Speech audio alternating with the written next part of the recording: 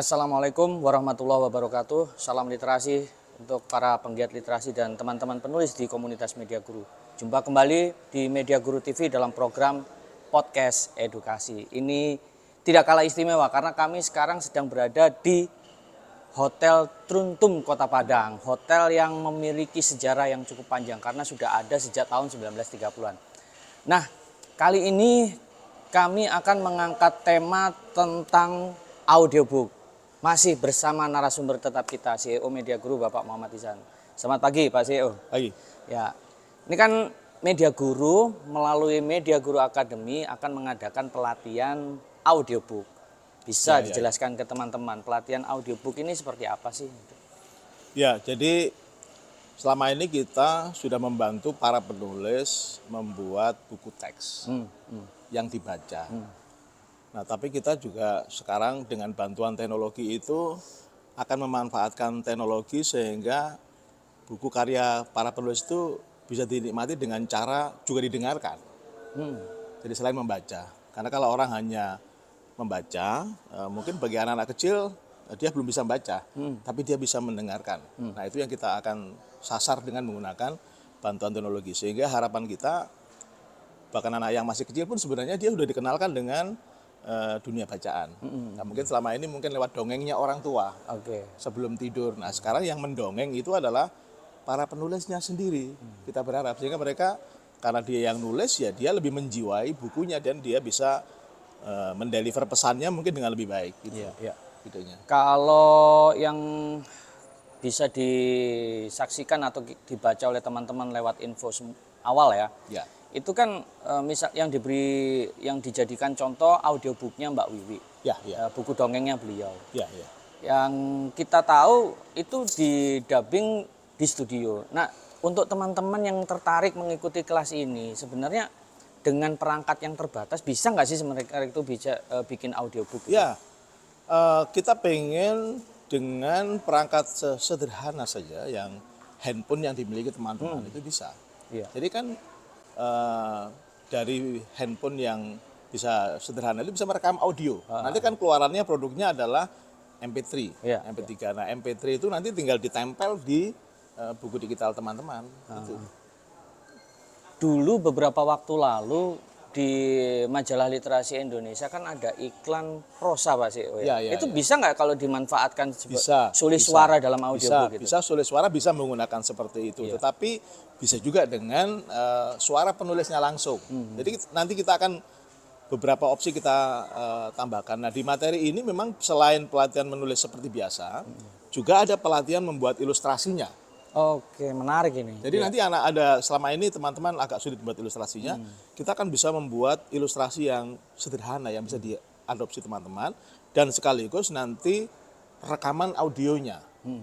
Jadi bangun tokohnya, nanti bagaimana membacakannya, narasinya dan direkam dengan alat sesederhana mungkin. Iya, Jadi iya. saya pikir itu sudah cukup untuk Iya. sementara. Andai misalnya yang mengisi suara itu bukan pengarang aslinya, boleh nggak itu? Boleh. Bisa. Jadi- kita tawarkan dua opsi ya. Iya, iya. Mau pakai yang sulit suara itu teknologi Iya. atau langsung dengan penulisnya. Iya. Bisa juga. Tidak tidak ada masalah dengan hak cipta itu. Eh, tidak ada masalah kan Iya. itu memang di sulit suara itu digunakan untuk itu. Hmm. Digunakan ada ada kita punya partner dari prosa itu ya. Nanti bisa kita libatkan. Bisa nggak dikasih contoh Pak CEO, audiobook yang misalnya taruhlah contoh yang ada di perpustakaan digital Perpusnas yaitu Ya. Bintang Pusnas, audiobook. Nanti bisa dilihat itu aja eh, audiobooknya Mbak Bibi yang ada di majalah literasi di Media Guru TV ada. Media Guru TV ada ya, jangan Nah, lupa teman-teman lihat ya Media Guru ya. TV yang ke-10 launching itu, Ya, yang launching. itu ada di pembukaannya. Nah, bisa dilihat di sana. Bagaimana ada bukunya, lalu kemudian ada suaranya gitu. Ya. Di aplikasi Bintang Pusnas yaitu perpustakaan digital yang dikelola oleh Perpusnas RI. Itu kan banyak sekali tersedia platform buku digital dan audiobook ya. Ya. Itu sebatas hanya membaca, mendengarkan atau bisa diunduh tuh Pak CEO. Jadi ya di, di Bintang Pusnas sudah ada koleksi audio dan video Ya. yang agak banyak contohnya audio itu eh, itu adalah bisa diunduh, Hmm, bisa diunduh. Tapi nanti itu berbatas waktu. Jadi kalau nggak salah selama eh, lima hari atau berapa itu itu akan terhapus dengan sendirinya. Itu bisa dinikmati pada saat itu. Oke. Nah kalau bicara audiobook yang berbasis buku cerita anak kan otomatis buku ini tidak terlalu tebal ya katanya. Ya, di, me- di media guru itu seperti apa? tuh? Tidak terlalu tebal. Jadi buku, buku anak ini memang ya namanya juga konsumsi anak-anak dia bukan bukan buku tebal. Jadi mungkin sekitar 15 16 halaman dan itu pun ada banyak gambarnya, ilustrasinya. Eh, Lalu kemudian kita tambahin suara. Jadi saya bayangin nanti anak-anak itu tidak lagi main handphone untuk eh, ngegame atau lihat nonton yang tidak benar, tapi dia gunakan untuk membaca. Kalau dia belum bisa baca, dibacakan oleh penulis. Jadi saya pikir pesannya akan lebih cepat sampai. Gitu. Ya, jadi lebih menarik ini ya. Itu nanti untuk pembaca anak eh, usi kan ada kelas-kelasnya ya. Ya, Eh, ya. Itu untuk anak usia yang eh, SD kelas awal atau yang kelas tinggi itu Pak? Eh, Sasarannya itu. Yang saya ingin rasa disasar ini. tergantung bukunya ya. Karena sekarang kita juga ada buku yang untuk konsumsi agak dewasa juga ada audiobooknya. Oh, Tapi nanti yang untuk untuk pertama ini kita mau segmen anak-anak ya. Segmen anak. Segmen anak nanti pelatihannya mulai pertengahan bulan Maret, tanggal 14 kita akan mulai. Tanggal 14, 14 Maret, ya. Ya. Saya tertarik dengan tadi ya, ada ilustrasi karena buku anak itu kan tidak bisa dilepaskan dari Ya, ilustrasi ya. Nah, eh, lewat media apa teman-teman ini nanti bisa membuat ilustrasi itu secara mandiri itu? Yang akan dilatihkan Ya, itu nanti. Yang, yang dilatihkan sementara kita akan menggunakan yang sebenarnya sudah biasa dipakai oleh teman-teman para guru. Apa itu? Pakai Canva. Oh, Canva. Setiap guru punya akun itu, akun di belajar.id itu.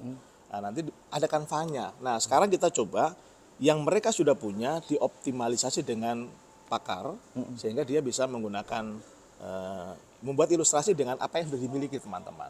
Gitu. Pelatihan itu nanti luring atau daring tuh? yang Karena dibekalkan ke teman-teman. dari berbagai kota, saya pikir kita menggunakan daring. Di daring ya. Jadi teman-teman eh, ini menarik ya. Eh, jadi di era teknologi digital seperti sekarang, penguasaan terhadap teknologi digital untuk pembelajaran itu penting. Nah, media guru melalui media guru akademi memfasilitasi teman-teman pendidik untuk eh, mengikuti pelatihan au- pembuatan audiobook dan juga ilustrasi. Nantikan nanti tanggal 14 Maret jangan lupa daftar dan pantengin terus Daftarnya di podcast sini, daftarnya di sini nih. Nah, Daftarnya di sini nih di buku audio 1.mediaguru.id.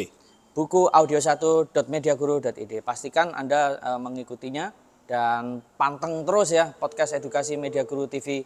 Terima kasih sekali lagi. Terima kasih untuk Pak CEO atas ya. bincang-bincang singkatnya. Kami harus segera bergeser ke Bandara Minangkabau. Salam literasi. Assalamualaikum warahmatullahi wabarakatuh. Waalaikumsalam warahmatullahi